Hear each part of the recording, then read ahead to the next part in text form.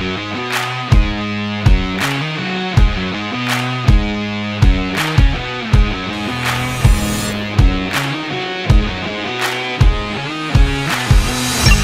ดีครับคุณผู้ชมครับ วันนี้ผมอยู่ที่สนามบางกอกแดกอเวนิวนะฮะหรือสนามคลอง 5 นั่นเองแน่นอนว่าไม่ได้มาแข่งแดกได้รับเชิญจากทางมิชลินครับวันนี้นะฮะให้มาทดสอบยาง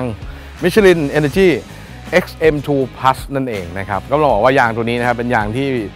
เพิ่มประสิทธิภาพในการขับขี่นะฮะเหมาะสำหรับรถขนาดกลาง และก็รถเล็กอย่าง Eco Car นะครับเป็นยางสูตรพิเศษ สามารถใช้ได้เรียกว่าตลอดอายุการใช้งานเลย ไม่ว่าจะเป็นตั้งแต่ยางใหม่ไปจนถึงยางใกล้หมดดอก การทดสอบเขามีสเตชันให้ทดสอบนะครับในในแทร็กเลยทีเดียวนะฮะก็จะมีทั้งยางใหม่ให้ทดสอบนะฮะไม่ว่าจะเป็นในเรื่องของเอ่อ noise comfort เรื่องของเอ่อเวทแท็กนะฮะแล้วก็ดูระยะการเบรกนะครับครับแล้วก็ในสถานีเวทแท็กนี่นะครับเราจะได้ใช้ ยางมิชลินที่ผ่านกระบวนการทำให้ดอกยางเหลือแค่ 2มิลลิเมตรนะครับ เพราะฉะนั้นเพื่อยืนยันว่า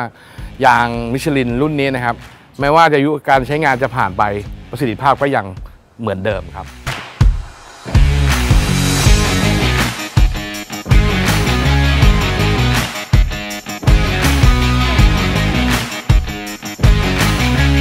สำหรับยางตัวนี้มิชลินตัว Energy XM2 Plus เนี่ยนะฮะที่เห็นเลยเบื้องต้นเนี่ยดอกยางละเอียดเนี่ย เงียบแน่ๆนะครับ แล้วก็ประสิทธิภาพที่เขาบอกว่าเป็น Full Silica Compound เนี่ยมันทำให้ตัวเนื้อยางเนี่ยมีประสิทธิภาพสูงสุดอยู่ตลอดไม่ว่าจะเป็นตั้งแต่เริ่มใส่จนถึงดอกยางใกล้จะหมดเลย เพราะนั้นเราจะได้ขับยางที่ประสิทธิภาพทั้งยางใหม่ดอกเต็มๆและยางที่เหลือดอกเหลือน้อยแล้วเหลือลึกประมาณ 2มิลลิเมตรจะดูว่าจะยังคงประสิทธิภาพสูงสุดอยู่ไหมเดี๋ยวเราไปดูการทดสอบกันนะครับว่า การทดสอบยานตัวนี้จะเป็นยังไง แล้วก็นุ่มเงียบแค่ไหนไปดูกันครับ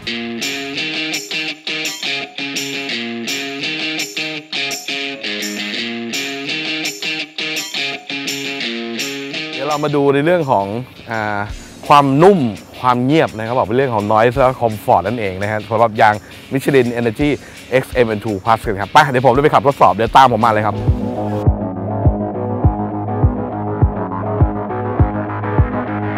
อะแล้วเมื่อกี้ผมบอกแล้วนะครับเป็นเรื่องของการทดสอบเรื่องของความนุ่มของยางกับความเงียบ เป็นเรื่องของ noise กับ comfort นะฮะคันนี้นะฮะเป็นยางมิชลินมานะครับ ในสเตชันนี้เป็นจับความรู้สึกในเรื่องของเสียง เขาบอกความเร็วที่เหมาะสมจริง ๆ ก็อยู่ที่ประมาณ 45 อะไรอย่างเงี้ยนะฮะ อะ เดี๋ยวไปฟังเรื่องของเสียงกัน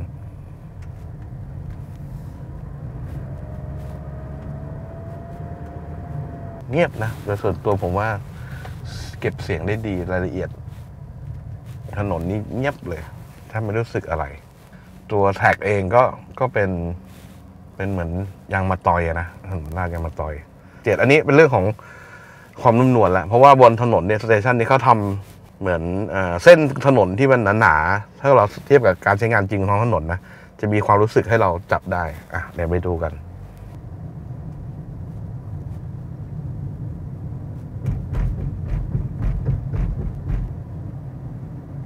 ประมาณนี้ จริงผมใช้ความเร็วอยู่ประมาณ 40 กิโลเมตรต่อชั่วโมงจะลองใช้ความเร็วเพิ่มขึ้นมาอีกนิดนึง ขวาดู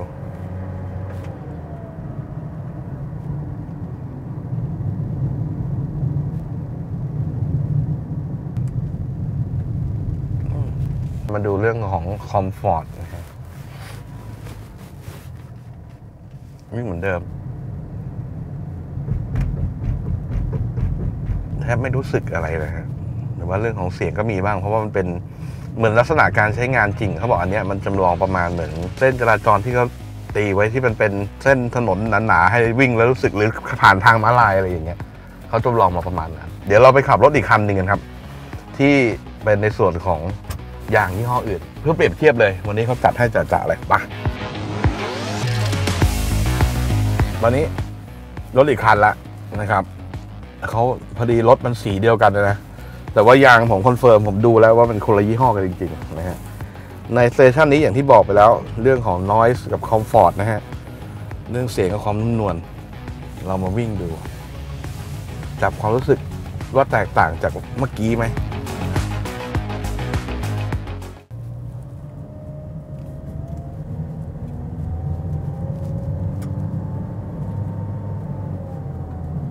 มาในเรื่องของ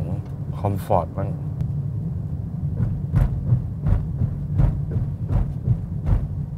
เอาส่วนตัวผมก่อนนะ ผมว่าผมรู้สึกได้ ทั้งในเรื่องของเสียงแล้วก็เรื่องของความนุ่มนวลเดี๋ยวเราไปดูในส่วนของการทดสอบในด้านอื่น ๆ ของยางมิชลินกันครับ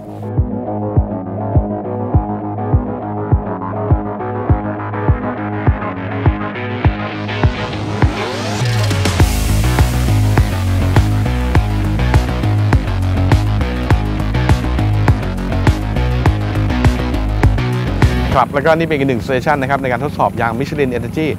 XM2 Plus นะครับ อันนี้นะครับเป็น Wet t r a c นะครับ จะเป็นการจำลองการใช้งานในชีวิตจริงในสภาพถนนเปียก ก็จะดูกันในเรื่องของระยะเบรก แน่นอนในเรื่องของการรีดน้ำออกก็ส่งผลในช่วยในเรื่องของการเบรกทำให้ประสิทธิภาพในการเบรกทำระยะได้สั้นนะครับ นั่นหมายถึงว่าความปลอดภัยในชีวิตคุณเลยนะครับ ในการใช้รถใช้ถนนจริง ๆ เพราะฉะนั้นเราจะได้ขับยางที่ใหม่ ๆ เลยนะครับ กับยางที่ดอกยางเหลือลึกประมาณ 2มิลลิเมตรเราไปดูว่าประสิทธิภาพจะยังคงทนอยู่ไหม ใน session นี้เป็นการวิ่งมานะฮะจากทางบริเวณกลางๆ track นะครับมาถึงบริเวณจุดที่กำหนดก็จะมีการกระแทกเบรกแบบเต็มแรงเลยนะฮะเพื่อดูระยะเบรก ว่าทำระยะได้ประมาณไหนนะฮะเดี๋ยวจะมีผลออกมาเดี๋ยวผมจะไปขับนะครับแล้วก็มี instructor นั่งไปด้วยเขาจะเป็นคนแจ้ง มีอุปกรณ์วัดอยู่ที่รถนะฮะว่าระยะทางตอนนี้ความเร็วถึงประมาณนี้ แล้วลองเบรกที่ความเร็วประมาณนี้ ระยะเบรกก็ออกมาสั้นยาวขนาดไหน เดี๋ยวเราไปติดตามกันครับ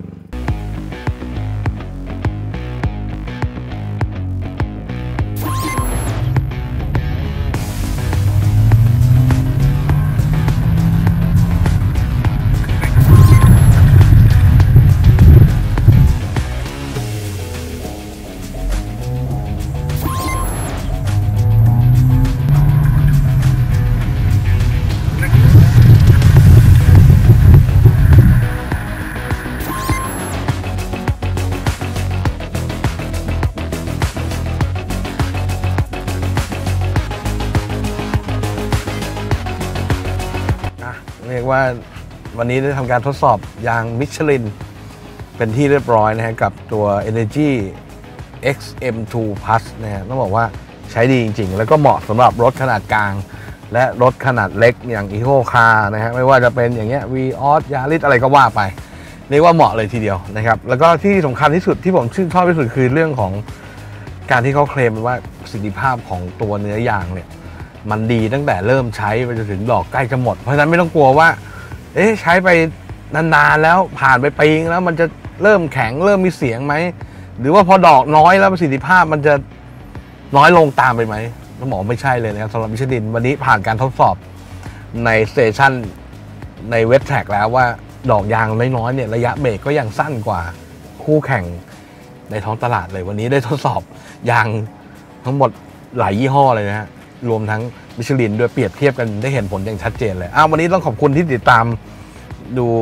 เรื่องราวการทดสอบยางมิชลินนะก็ฝากติดตาม Speed Channel นะครับสปีดกาลาดเองนะครับ ติดตามได้ก็ไม่ว่าจะเป็นเว็บไซต์นะฮะของ Speed Channel หรือใน YouTube นะครับเข้าไปใน YouTube ในที่เป็น Speed Channel ที่เป็น Official นะฮะก็เข้าไปดูกด Subscribe กดกระดิ่ง กดติดตามไว้ติดตามในเพจใน Facebook นะครับก็ฝากไว้ด้วยเรื่องของการไลฟ์สด ก็เร็วๆนี้อาจจะได้กลับมาพูดคุยกันแบบนี้นะครับ แล้วก็ถ้ามีกิจกรรมดีๆแบบนี้ ถ้ากดติดตามไว้ก็จะมีการแจ้งเตือนทุกครั้ง วันนี้ลาไปก่อน สวัสดีครับ